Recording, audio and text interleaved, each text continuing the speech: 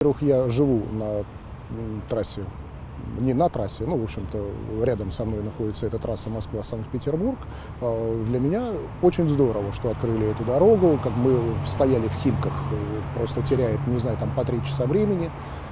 Теперь эта проблемы разрешились. Конечно же, я отношусь к этому только с положительной стороны. Это очень здорово.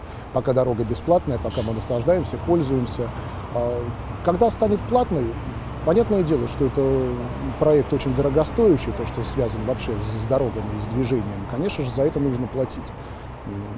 Вопрос, какова цена будет за это и все ли готовы за это платить. Может, кто-то не готов, но всегда же нам оставляют альтернативу. Допустим, та же старая дорога через Химки. Ну, кстати, она разгрузилась э, в связи с новой. Вот. Платные парковки. э, Действительно, в Москве большая проблема припарковаться. Это действительно так, мест нету, как бы за это штрафуют, парковка в неправильном месте, э, а людям деваться некуда, где им еще парковаться. Они заезжают на газоны, бросают свои машины, их эвакуируют.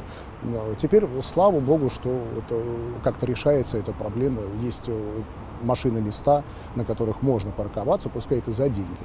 Ну, Может, кто-то себе не может это позволить, да? Может оставить машину на метро, э, доехать в центр Москвы на метро. Ну, Не знаю, как бы в нашем случае я вижу вот только, только плюсы. Но опять же вопрос цены.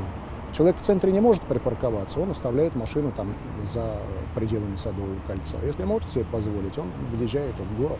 Как бы это нормальная история, это мировая практика, не мы первые это начали, поэтому это имеет место в нашей жизни. Это все нормально.